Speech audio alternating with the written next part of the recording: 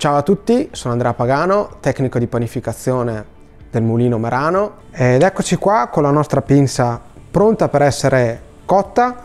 E andremo ad impostare quindi il nostro forno ad una temperatura di circa 275-280 gradi per 4 minuti.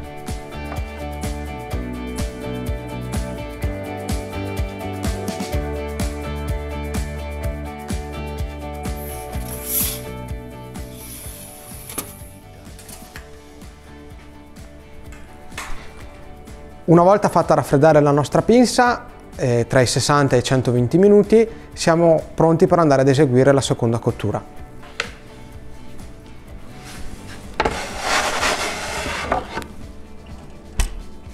Una volta sfornata la nostra pinza, finalmente abbiamo ultimato il nostro prodotto, siamo pronti per andare a completarla con la farcitura finale. Io ho optato per un po' di trifoglio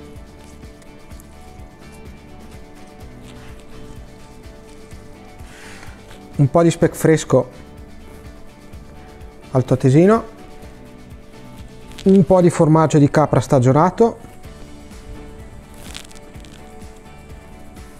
un filo d'olio, un po' di mostarda di fichi,